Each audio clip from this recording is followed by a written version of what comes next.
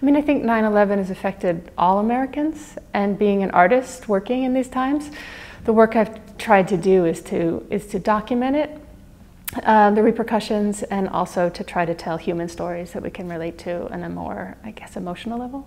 But the real motivation for the work that I've been doing is not actually the events of 9 11, but how the US has responded to those events. The invasion of Iraq, Guantanamo, um, uh, legalization of, what, of torture. And those are the things that, that were not created on 9 11.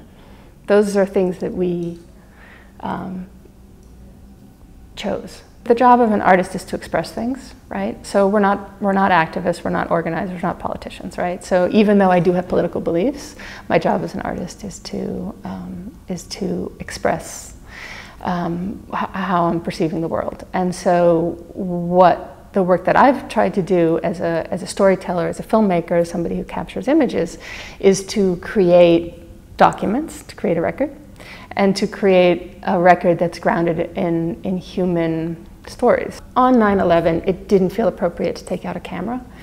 Uh, and, and I didn't want to do that. But then after, I, I did go down and, and film. Oh, Say Can You See is composed of people's faces at, at, um, at Ground Zero. And then it's also, the audio is from the national anthem being sung at the, at the Yankees World Series game that happened right after 9-11. Uh, I think if you went there today, everyone would be texting and had their cell phones, right? And 10 years ago, actually people were just going there and would, would, would sit there for like half an hour and just look. And um, I think that there's always a, you know, as a dealing with representation, I mean, there are things that can't be seen, right?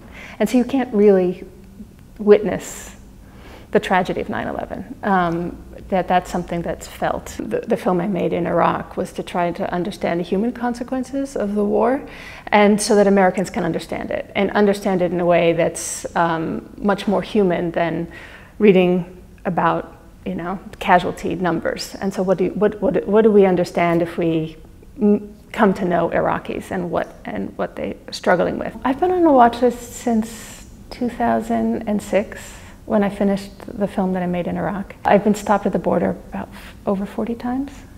They send two agents to the airplane, and then I'm escorted into, into a questioning room, and my belongings are searched, and I've had my laptop seized, and I've had notebooks photocopied. The U.S. government doesn't acknowledge that it that anyone is on uh, a watch list and, and you don't know why, the government doesn't tell you why you're on a watch list. I've filed complaints and done all the normal things. I've worked with ACLU, we've done FOIAs. So it is a bit Kafkaesque to be stopped every time that I, that I travel um, to the United States and never be told why this is happening. It's indicative of, of the direction that the United States is moving in, I think.